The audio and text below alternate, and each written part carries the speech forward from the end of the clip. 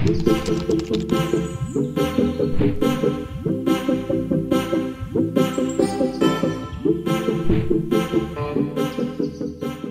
لقد شكل مناخ الأعمال والاستثمار في الجزائر منذ عقود طويلة مادة دسمة للانتقادات المستثمرين ورجال الأعمال المحليين والأجانب وحتى كبرى الشركات الأجنبية. بسبب الإجراءات الإدارية المعقدة والثقيلة التي ظلت تعرقل سبل المستثمرين ما سبب نفورا لديهم. وجعل الجزائر تحتل مراتب دنيا في تقارير البنك الدولي حول مناخ الأعمال في البلدان بحيث جاءت الجزائر في المرتبة 157 في تقرير ممارسة أنشطة الأعمال لعام 2020 ولكن الخبراء والضالعين في الشأن الاقتصادي يجمعون على أن قانون الاستثمار الجديد يشمل مختلف الجوانب القانونية والإدارية والمالية لتسهيل عملية الاستثمار واستقطاب الرأس المال الأجنبي وهو ما يعكس التوجه الحاصل حاليا في ضرورة إنجاح المشاريع الاستثمارية ما دامت الجزائر تتوفر على كل الإمكانيات لتحقيق إقلاع اقتصادي. حقيقي. تسعى السلطات العليا للبلاد لإعطاء دفعة لقطاع الاستثمار من خلال حزمة من المزايا والتحفيزات التي تم سنها في قانون الاستثمار الجديد لجذب المتعاملين المحليين والأجانب وتنشيط عجلة الإنتاج وتوفير اليد العاملة وبلوغ المستويات المرجو من ذلك. واليوم غادي نلخص لكم موجه في قانون الاستثمار الجديد.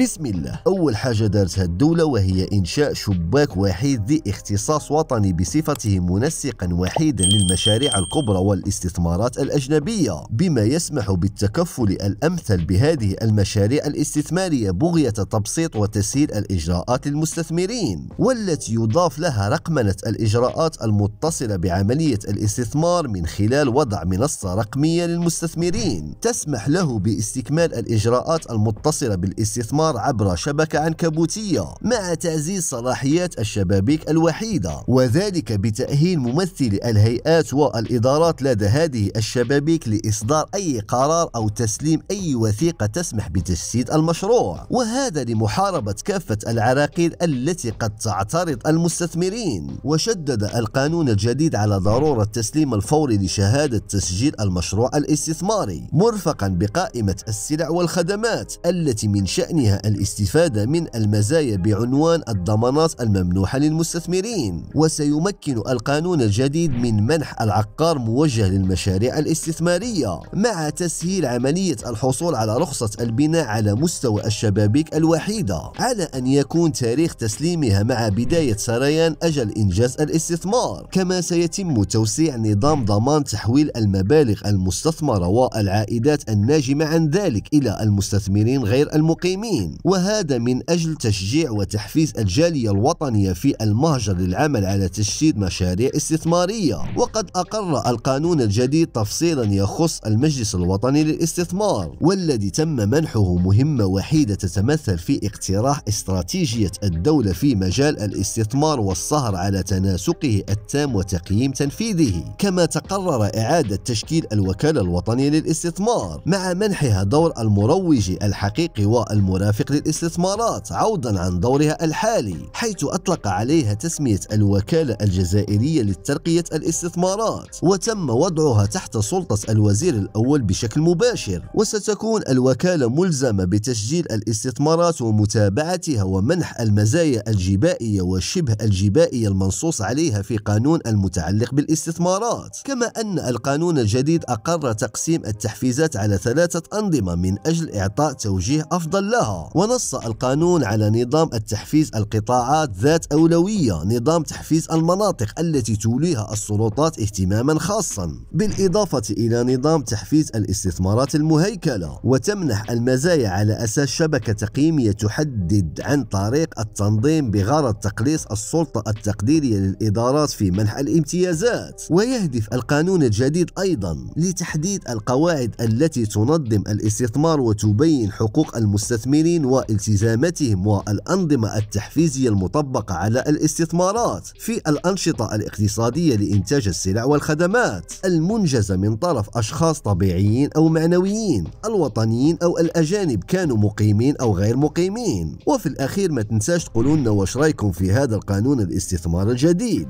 سلام!